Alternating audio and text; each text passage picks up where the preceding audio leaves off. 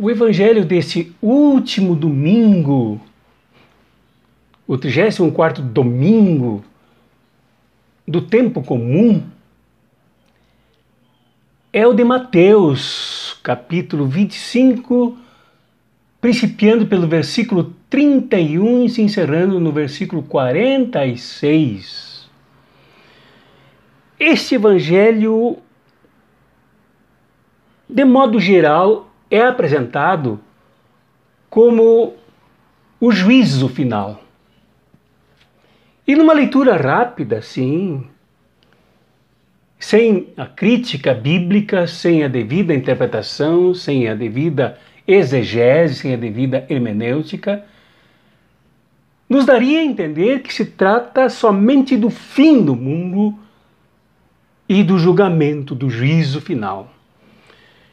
No entanto, um mergulho nesse evangelho, que é um dos mais significativos do Novo Testamento, nos mostra a presença da apocalíptica judaica dentro de Mateus. E desta forma, com esse instrumento literal, Mateus nos apresenta Jesus na parousia, no juízo final como sendo o juízo final.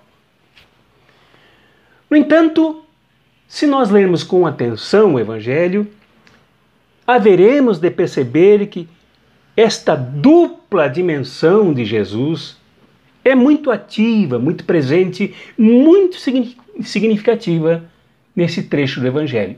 Isto é, o Cristo que vem, o Cristo do juízo final, o Cristo da, paru da parousia o mesmo que já está na história. O mesmo que conta a alegoria. O mesmo que faz parte da comunidade de Mateus e o mesmo que São Paulo chama de o corpo de Cristo, com todos nós como seus membros e mem membros. Um Cristo incorporado em nós, um Cristo que nos faz ser Cristos do Cristo, parte dele é o Cristo presente, o Cristo ativo. E nessa parábola do, do juízo final, se destaca algumas coisas que são muito significativas para o presente, para o momento que nós vivemos. Por exemplo, esta parábola está dentro daquilo que alguns teólogos chamam de a nova lei, o Evangelho.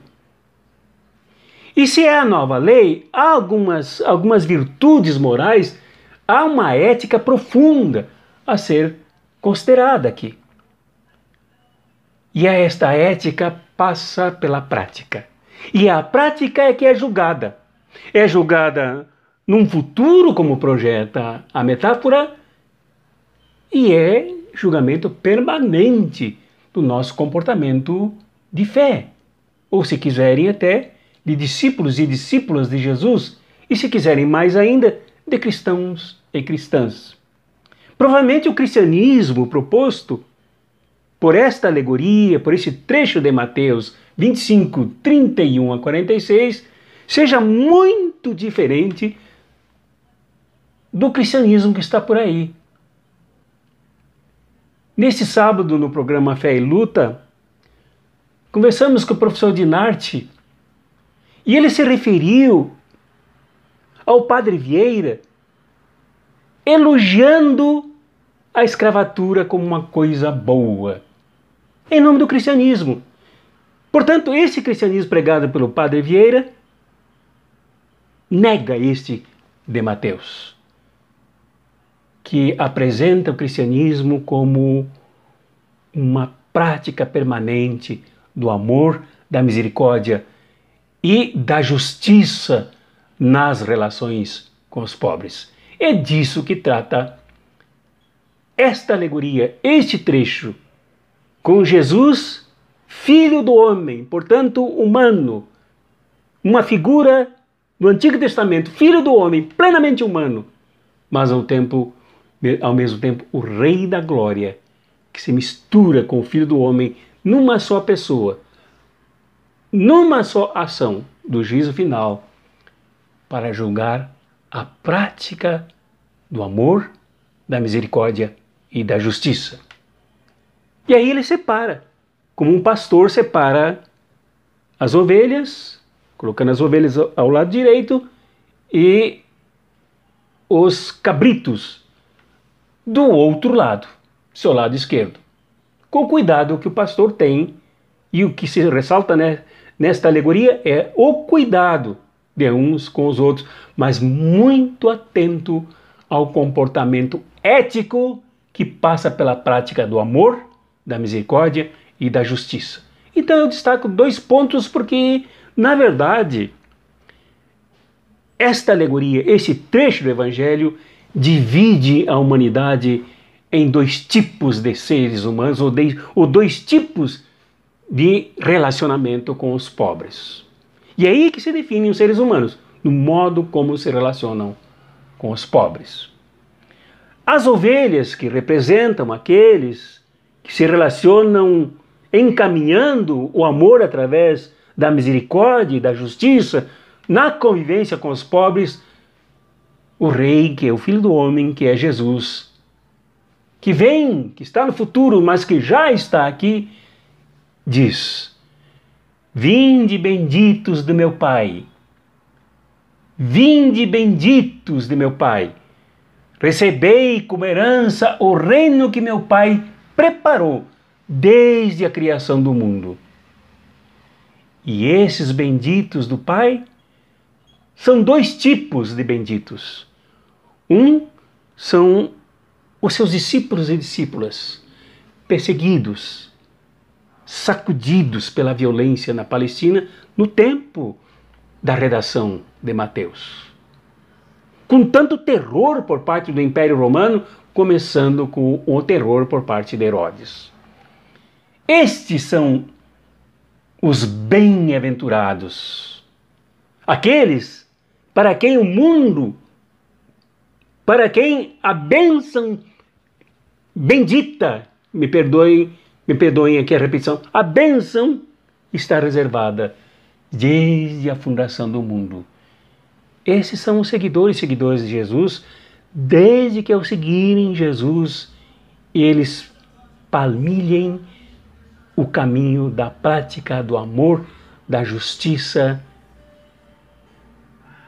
e da misericórdia, do amor, da misericórdia e da justiça. Quer dizer, o juiz aqui não pedirá nenhum documento para os seus pequeninos, para os seus bem-aventurados. Não pedirá nenhum relatório deles não pedirá um levantamento de quantas vezes rezaram o Pai Nosso, de quantas vezes foram à mesa eucarística, de quantas vezes participaram de cultos ou de missas, de quantas vezes se juntaram em atividades ecumênicas. Nada disso. Ele tratará dos benditos do Pai e os convidar a entrar, porque eles foram discípulos e discípulas de Jesus, perseguidos, pequeninos. Era um grupo pequeno na Palestina, mas composto de fiéis a Jesus, que trilhavam o caminho da prática, exercendo o amor, a misericórdia e a justiça. Isto é o único interesse, esse é o único conteúdo julgado por Jesus. Muitas vezes nós nos preocupamos com, com comportamentos regrados, com comportamentos morais, como tratamos dentro de casa as pessoas, como é a nossa família, como abordamos a família. E a família, ah, em primeiro lugar, a família tradicional, isso e aquilo. No juízo de Jesus, a única coisa que interessa é que os seus seguidores e seguidoras percorram o caminho da prática no exercício do amor, da misericórdia e da justiça. É isso o que vale. Não importa se em dado momento a pessoa crê em reencarnação, não importa se em dado momento a pessoa coloca alguns princípios acima de outros em outros momentos. O que importa é que os pequeninos, os bem-aventurados discípulos e discípulas de Jesus. Aqueles das bem-aventuranças, os mansos, os que herdarão a terra, os misericordiosos, os pacificadores, os que amam a justiça, os perseguidos por causa, desse, por causa dele, estes percorram o caminho da prática exercendo o amor, a misericórdia e a justiça. E isto demanda muita prática, dedicação, carinho, afeto, superação do ódio, superação de desentendimentos, superação da opressão, superação de todos os pecados que dividem as pessoas. Estes são os bem-aventurados, os benditos do Pai. Mas Jesus não se restringe somente aos seus discípulos e discípulas. A alegoria, esse trecho do Evangelho, mostra que Jesus julga a humanidade inteira.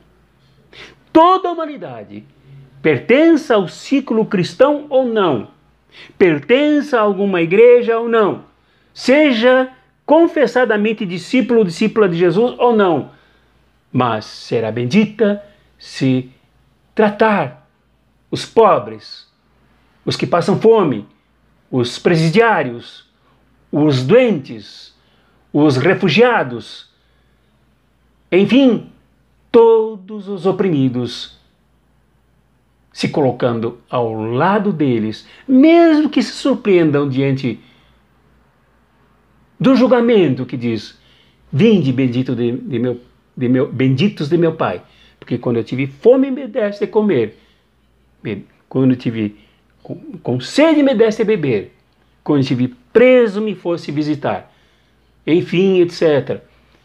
Mesmo que os que lutam assim, reconhecendo Jesus em cada pessoa, se surpreendam e devolvam a pergunta: Mas quando nós te vimos assim, Senhor? E ele responda: Quando fizeste a um desses pequeninos, a mim o fizeste.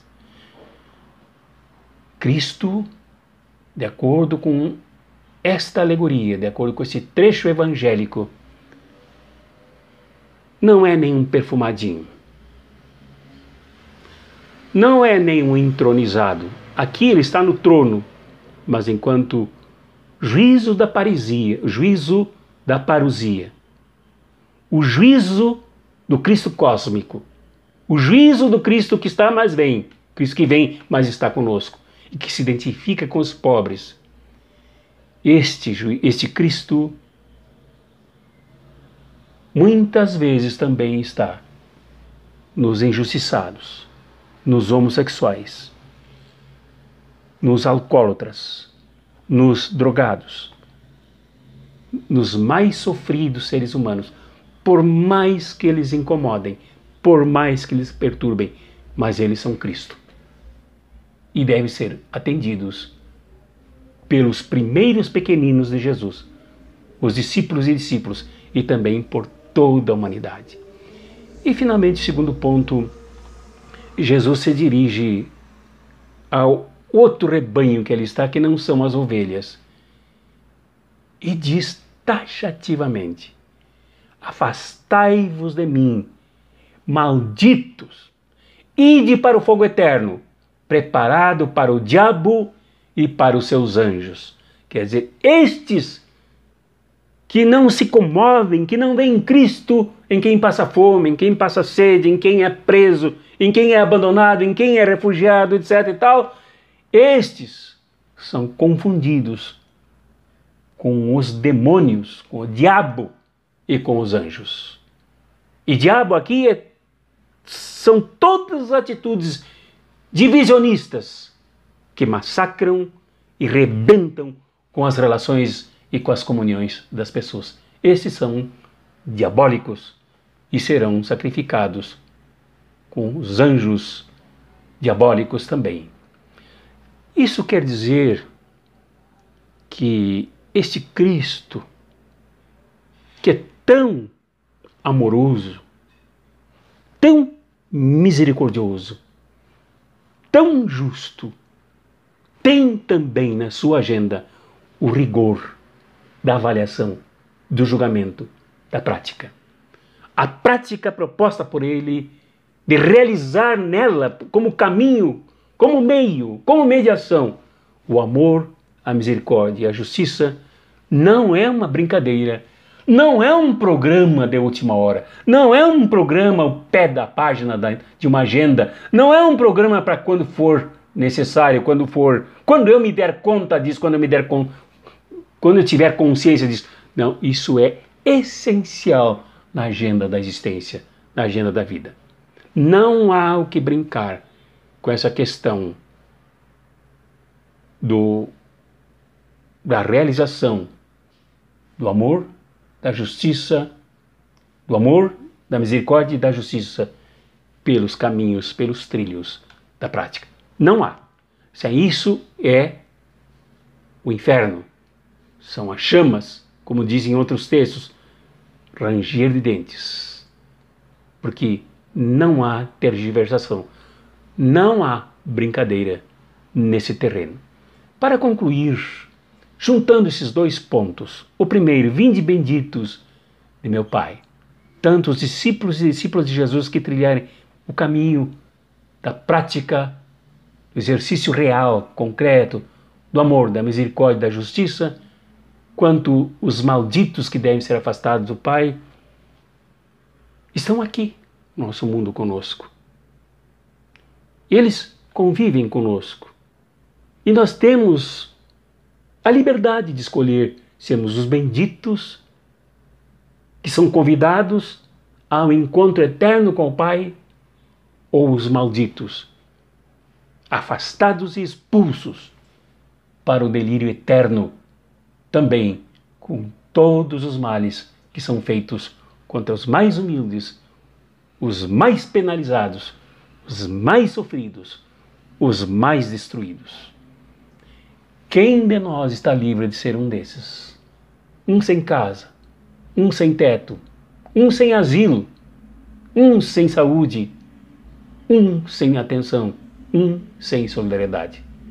Por isto, até por uma questão de sobrevivência, o nosso a nossa única opção é o vinde benditos de meu Pai, pelos trilhos práticos da realização.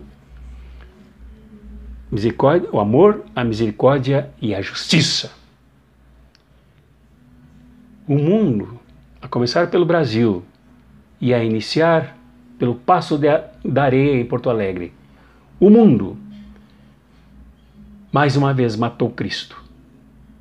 E mais uma vez se soma isso na agenda do juízo final, quando mataram o Beto em Porto Alegre, João Roberto Silveira Freitas, Jesus foi esbofeteado, sofreu matalhão, foi sufocado e morto. O Cristo que talvez tenha perturbado um pouquinho dentro do mercado, mas que para ele ofereceram muito mais a morte do que um julgamento justo, do que o respeito, do que os direitos humanos. Lá, Cristo foi mais uma vez assassinado, antes torturado, chutado e sufocado com um matalhão. Quantos deste mundo fazem isso? Contra os Cristos que representam o Cristo aqui que fala conosco. Será que nós escolhemos o caminho certo?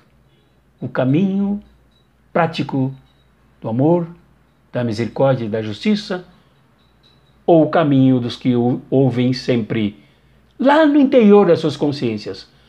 Afastai-vos de mim, malditos, e ide para o fogo eterno e sermos queimados permanentemente já em nossas consciências? Em nome do Pai, do Filho e do Espírito Santo. Amém.